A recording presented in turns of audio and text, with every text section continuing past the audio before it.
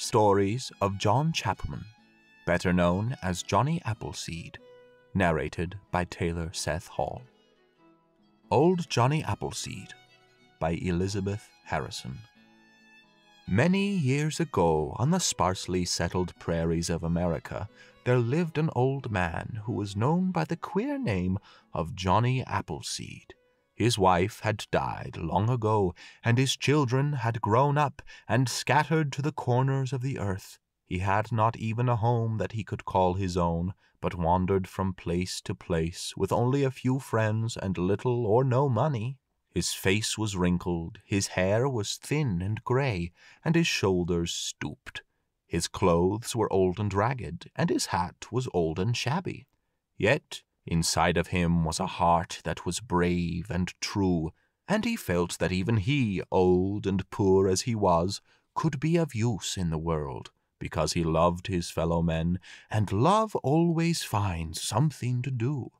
As he trudged along the lonely road from town to town, or made for himself a path through the unbroken forest, he often thought of the good God, and of how all men were children of the one Father Sometimes he would burst out singing the words of a song which he had learned when he was a young man. Millions loving, I embrace you. All the world this kiss I send. Brothers, o'er yon starry tent dwells a God whose love is true. These words, by the way, are part of a great poem you may some day read, and they once so stirred the heart of a great musician that he set them to the finest music the world has ever heard.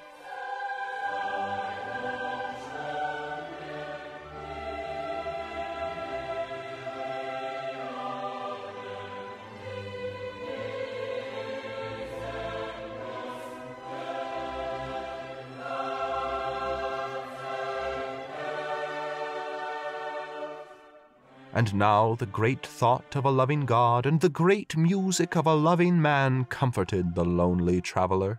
The old man wandered about from village to village, which in those days were scattered far apart, with miles and miles of prairie land stretching between them, and sometimes woodland and rivers, too, separated one village from the next.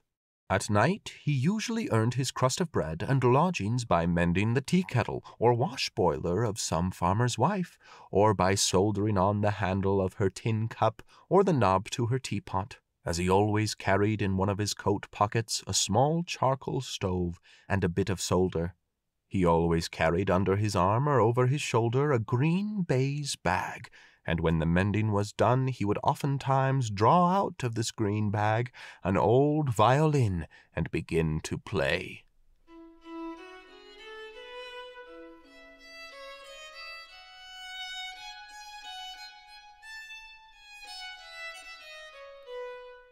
And the farmer, as well as his wife and the children, would gather around him and listen to his strange music. Sometimes it was happy, and sometimes it was sad, but always sweet. Sometimes he sang words that he himself had written, and sometimes the words which had been written by the great masters. But mending broken tinware and playing an old violin were not the only things he did to help the world along. As he wandered from place to place, he often noticed how rich the soil was, and would say to himself, some day this will be a great country with thousands of people living on this land, and though I shall never see them, they may never read my verses or hear my name, still I can help them and add some things to their lives. So, whenever a farmer's wife gave him an apple to eat, he carefully saved every seed that lay hidden in the heart of the apple, and next day as he trudged along he would stoop down every now and then and plant a few of the seeds, and then carefully cover them up with the rich black soil of the prairie. Then he would look up reverently to the sky and say, I can but plant the seed, dear Lord, and thy clouds may water them, but thou alone can give the increase. Thou only can cause this tiny seed to grow into a tree, whose fruit shall feed my fellow men. Then the godlike love that would fill his heart at such a thought would cause his face to look young again, and his eyes to shine as an angel's eyes must shine, and oftentimes he would sing in clear, rich tones, Millions loving, I embrace you, all the world this kiss I send. Brothers, o'er yon starry tent dwells a God whose love is true. And he knew that God dwelt in his heart as well as in the blue sky above. When the cold winters came and the ground was frozen too hard for him to plant his apple seeds, he still saved them, and would often have a small bag full of them by the time that spring returned again, and this is how he came to be called Old Johnny Appleseed. Though nobody took very much notice of what he was doing, he still continued each day to plant apple seeds, and each evening to play on his violin. By and by his step grew slower, and his shoulders drooped lower, until at last his soul, which had always been strong and beautiful, passed out of his worn old body into the life beyond, and the cast-off body was buried by some villagers who felt kindly towards the old man, but who never dreamed he had ever done any real service for them or their children. And soon his very name was forgotten. But the tiny apple seeds took root and began to grow, and each summer the young saplings grew taller, and each winter they grew stronger, until at last they were young trees, and then they were old enough to bear apples.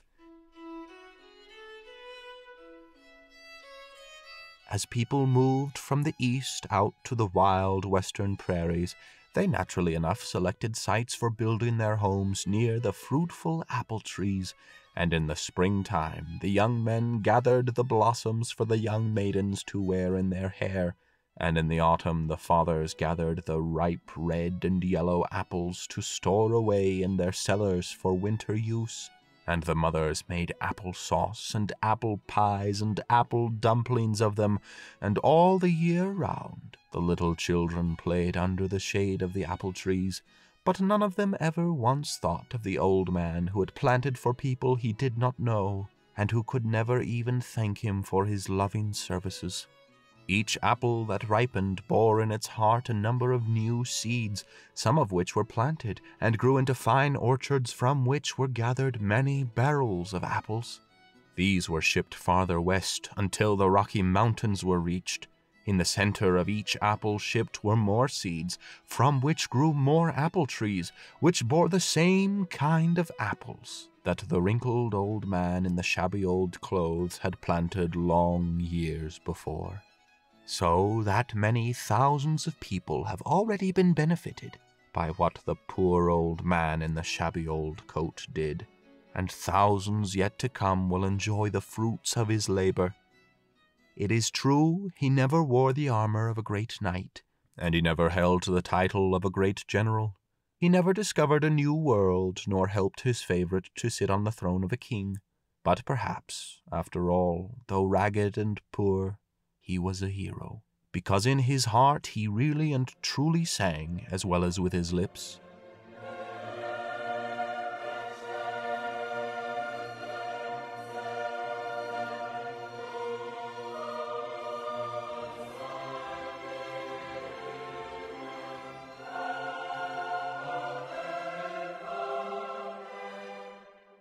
millions loving, I embrace you.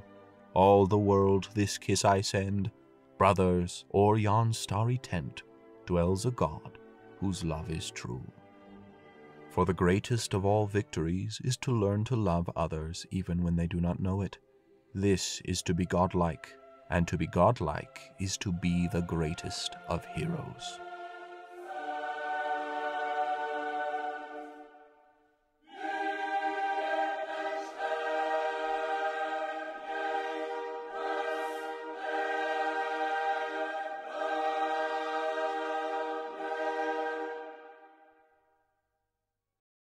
Appleseed John by Lydia Maria Child. Poor Johnny was bended well nigh double with years of toil and care and trouble, but his large old heart still felt the need of doing for others some kindly deed. But what can I do? old Johnny said. I who work so hard for daily bread. It takes heaps of money to do much good. I am far too poor to do as I would. The old man sat thinking deeply a while, when over his features gleamed a smile, and he clapped his hands with a boyish glee, and said to himself, There's a way for me. He worked and he worked with might and main, but no one knew the plan in his brain. He took ripe apples in pay for chores, and carefully cut from them all of the cores. He filled a bag full, then wandered away, and no man saw him for many a day. With knapsack over his shoulder slung, he marched along and whistled or sung. He seemed to roam with no object in view, like one who had nothing on earth to do. But journeying thus o'er the prairies wide, he paused now and then, and his bag untied. With pointed cane deep holes he bore, and in every hole he placed a core then covered them well, and left them there, in keeping of sunshine, rain, and air. Sometimes for days he waded through grass, and saw not a living creature pass, but often when sinking to sleep in the dark, he heard the owls hoot, and the prairie dogs bark. Sometimes a native of sturdy limb came striding along and walked with him, as he who had food shared with the other, as if he had met a hungry brother. When the native saw how the bag was filled, and looked at the holes that the white man drilled, he thought to himself 'twas a silly plan to be planting seed for some future man. Sometimes a log cabin came in view, where Johnny was sure to find jobs to do, by which he gained stores of bread and meat, and welcome rest for his weary feet. He had full many a story to tell, and goodly hymns that he sung right well. He tossed up the babes and joined the boys in many a game full of fun and noise, and he seemed so hearty in work or play Men, women, and boys all urged him to stay, but he always said, I have something to do, and I must go on to carry it through. The boys, who were sure to follow him round, soon found what it was he put in the ground, and so as time passed and he travelled on, every one called him Old Appleseed John. Whenever he'd used the whole of his store, he went into cities and worked for more. Then he marched back to the wilds again and planted seeds on hillside and plain. In cities some said that the old man was crazy, while others said he was only lazy.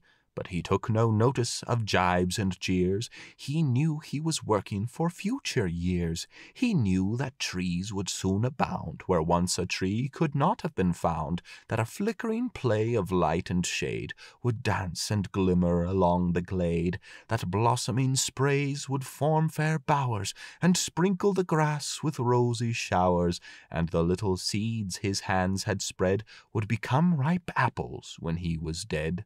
So he kept on travelling far and wide, till his old limbs failed him, and he died. He said at the last, "'Tis a comfort to feel I've done some good in the world, though not a great deal." Weary travellers journeying west, in the shade of his trees find pleasant rest, and they often start with glad surprise at the rosy fruit that round them lies. And if they inquire whence came such trees, where not a bough once swayed in the breeze, the answer still comes as they travel on. These seeds were planted by Appleseed John.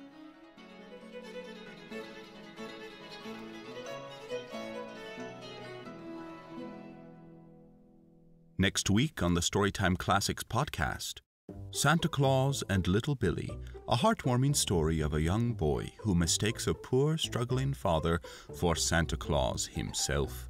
Remember that all episodes now have companion ebooks available for free download in PDF and EPUB formats. You can find them on the Storytime Classics official webpage. The link is in the description. You can also find us on Facebook and Instagram. If you are enjoying these stories, please share these recordings with your friends and consider donating to help keep this podcast alive. A link to support us is also in the description. This is Taylor Seth Hall, and I'll see you next week on the Storytime Classics podcast.